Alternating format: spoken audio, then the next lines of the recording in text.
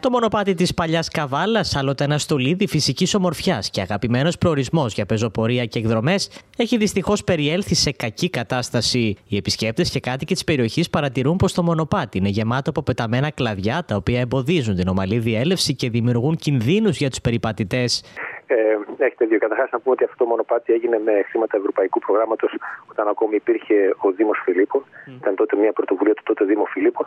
Ε, εγώ τότε ως ε, μέλος του Πολιτιστικού Συλλόγου και πρόεδρος ε, πραγματικά είχαμε συμβάλει πολύ στο να ε, δημιουργούμε δράσεις εκεί μέσα και να προσκαλούμε τον κόσμο. Κάτι που ήταν, θα έλεγα, μια συλλογική προσπάθεια και δεν ήταν φυσικά μόνο δική μου. Ε, και στα πλαίσια όλων αυτών των δράσεων, πρέπει να σας πω, πάντα φροντίζαμε τόσο εμείς εθελοντικά, αλλά και ο ίδιος ο Δήμος, πρέπει να πούμε, ε, να προβαίνει σε κάποιες ενέργειες εξοραϊσμού του μονοπατιού. Και το τονίζω αυτό γιατί ε, αυτό μπορούσε να γίνει μόνο στα πλαίσια των εκδηλώσεων αυτών, δηλαδή ε, του Food Water Wild Festival. Ε, ουσιαστικά ο Δήμος ε, μπορούσε να, στα πλαίσια των εκδηλώσεων που διοργανώταν εκεί και ήταν συνδιοργάνωση της Δημοφέλεια του Δήμου και του Πολιτιστικού Συλλόγου Παλαιάς Καβάλας, προκειμένου να παρέχει ασφάλεια στους διαχόμενου επισκέπτε, είχαμε προβεί ως Δήμος την ε, επισκευή, αυτό που βλέπετε τώρα δηλαδή του ξύλινης περίφραξης, των γεφυριών ε, και φυσικά σε συνεργασία με θελοντισμό γινόταν καθαρισμός του μονοπατιού. Πρέπει όμως να τονίσουμε ότι όλα τα ρέματα ε, ανήκουν στην περιφέρεια, δεν ανήκουν στο Δήμο. Άρα λοιπόν ο Δήμος έχει περιορισμένες και έχει περιορισμένες δυνατότητες να παρεύει σε αυτούς, σε αυτά εδώ τα σημεία τα οποία βλέπετε. Ε, ο Δήμος λοιπόν θεωρώ ότι σε μεγάλο βαθμό έχει ανταποκριθεί.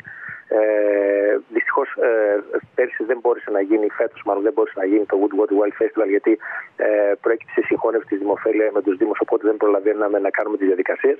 Ε, πάντα ο Δήμος θα φροντίζει με οποιοδήποτε τρόπο μπορεί θεωρώ ότι πρέπει να ευαισθητοποιηθεί και λίγο περισσότερο η περιφέρεια. Ε, βέβαια, θα μου πείτε, είναι ένα θέμα που ε, πρέπει να το δουν με όλα τα ρεύματα και είναι πάρα πολλά, αλλά ειδικά αυτό το μονοπάτι, το οποίο είναι και ένα περιβαλλοντικό μονοπάτι, Ακριβώς και στον κόσμο θα πρέπει να δοθεί μια μεγαλύτερη ε, προτεραιότητα.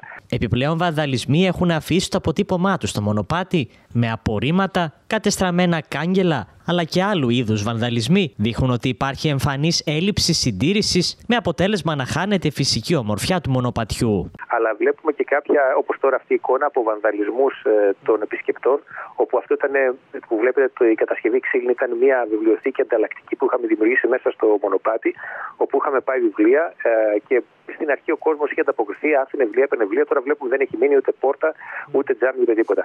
Άρα λοιπόν πρέπει καταρχάς οι ίδιοι επισκέπτες να έχουν μια ευαισθητοποίηση όσον αφορά την διατήρηση όσο γίνεται καλύτερο, γιατί θεωρώ ότι πολλά από αυτά δεν είναι μόνο από καταπτώσεις κλαδιών, κάποια είναι και από βανδαλισμούς.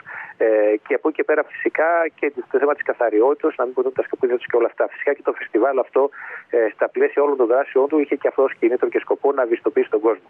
Από εκεί και πέρα βέβαια πραγματικά πρέπει να ευαισθητοποιηθεί περισσότερο και η περιφέρεια και να, ε, γιατί, γιατί το λέω αυτό οι εικόνες που βλέπετε από πεσμένα κλαδιά ε, ναι. πρέπει για να γίνει ε, αποξήλωση όλων των κλαδιών και να μαζευτούν και να γίνει μια ολόκληρη διαδικασία. Πρέπει σίγουρα να γίνει πρώτα μια μελέτη από δασολόγους, από επιστήμονες και γεωπόνου, οι οποίοι πρέπει να γίνει με συγκεκριμένο τρόπο. Ε, τα, όταν μαζεύουμε κλαδιά δεν τα μαζεύουμε και τα πετάμε.